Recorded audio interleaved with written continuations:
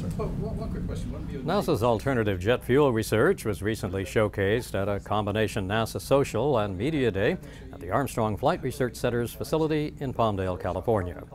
We love NASA Socials because not only does it get people in the room and build excitement about our programs, but it allows people to share our programs with their friends and allows us to get feedback. The fuels that we're burning are actually certified for everyday commercial use.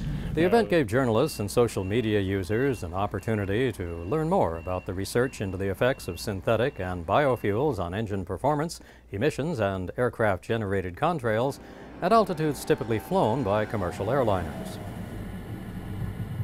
The alternative fuel effects on contrails and cruise emissions flight experiment, or Access 2, includes aircraft and scientific contributions from NASA's Armstrong, Glenn, and Langley research centers. The German Aerospace Center and the National Research Council of Canada are international partner agencies involved in the research. During the morning, participants were briefed on the Access 2 experiment by scientists, pilots, and other officials involved in the research, followed by tours of the specialized aircraft being flown in Access 2.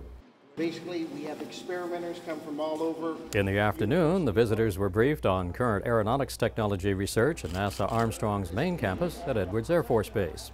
They also saw the Global Hawk Earth Science aircraft, toured the center's model shop, the experimental fabrication shop, and also engaged in a question and answer session with NASA research pilots and engineers. Um, one engineer that's got this idea to tow a glider behind another airplane and launch a rocket from it to put a payload into orbit. And we're actually marching towards doing that. And that's interesting. Hasn't been done before.